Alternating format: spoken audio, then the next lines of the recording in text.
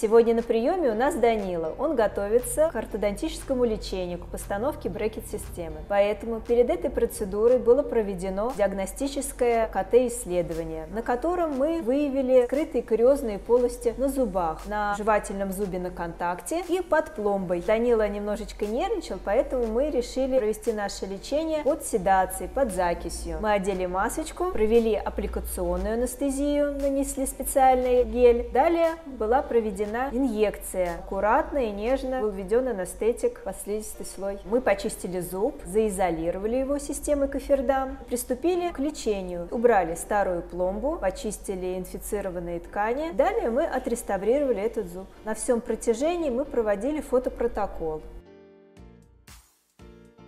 Мне очень понравилось. Мне делали пломбу из-за того, что у меня был кариес между зубов. Я уже ну, начал чистить ёршиком, нитью для зубов и специальным прибором, который чистит между ними. Как бы маленькая такая щетка монопучковая. И мне очень понравилось. Тут еще есть голубь Аркаша.